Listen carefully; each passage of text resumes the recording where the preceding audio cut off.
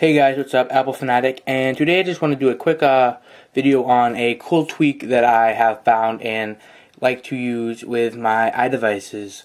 So um, let's get started. Obviously, in order to use this tweak, you are going to need to be jailbroken on iOS 4.0 or above. So uh, any device other than the iPhone second generation will support this along with the iPod Touch first generation. Obviously not supporting this.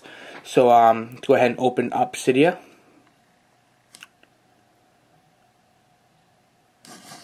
Let it load. And the, uh, the uh, tweak is called Spring Springtomize, and basically what it does, it allows you to pretty much control every aspect of your device from one simple application.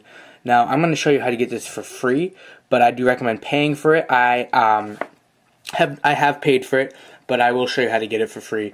I have bought the um, code that goes with it.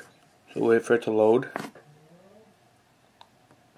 and we're going to go over to here to manage. You're going to want to go to sources, go to edit, add, and you're going to want to type in www.sin, oops, www, uh, typing through the camera, dot sin, I can't type with this, sinful iPhone repo.com now you're going to want to go ahead and hit add source, and I'm going to cancel because I've already added it.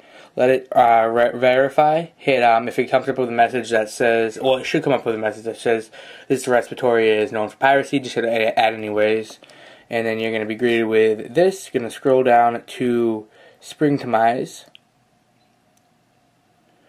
and you will see it right right here. Spring to Springtomize cracked. You can hit install, hit install, and then then you're going to want to go ahead and restart your device. So once your device is restarted, go over to settings, and you're going to want to go to general. Oops, I'm sorry. Go down below general and to the cut to the uh, added section where all your jailbreak tweaks go, and you're going to want to go to Springtomize. And here you can go ahead and truly change and get creative to what your device want you what you want your device to look at or look like. So you can go to capabilities and if you want to add some things or change some things, you can go ahead and select use custom. So for this, we will unselect use custom, hit respring. You have to respring your device after every uh, change you've made. But um, it's just a respring, so if it becomes a tethered jailbreak you're running, you can always just respring and you won't lose your uh, tethered.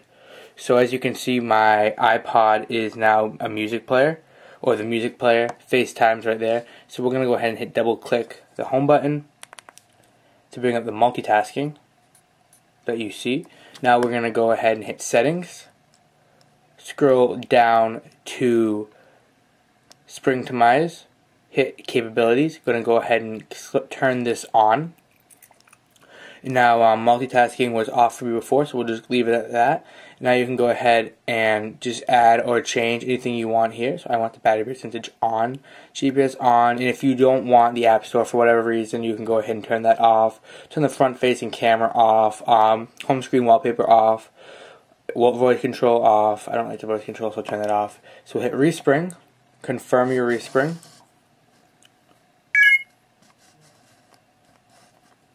Now we'll just go ahead and enter it.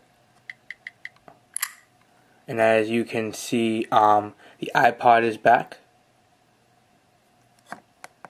And we have no more multitasking, so we'll double click. And instead of bringing up the multitasking, it brings up FaceTime. So I hope you enjoyed that. It's a quick tutorial. Also, um, you can go ahead and change a lot more things, but I use the capabilities. You can change your icons, you can change your status bar, what you use for status bar, what your folders look like, you know, animation, theming, uh, really cool things um, that uh, I suggest you pay for. But if you don't want to, whatever. You also have the ability to disable or enable things here. So um, I have this thing already um, put in to get rid of the spotlight search. However, if you want, you can go ahead and disable it here.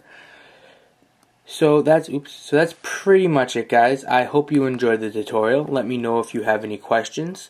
Um, I'm going to do another tutorial soon with my favorite tweaks, but this was just a quick uh, quick walkthrough of Springtomize, how to get it, and some of the cool features you get when you download and install Spring Springtomize.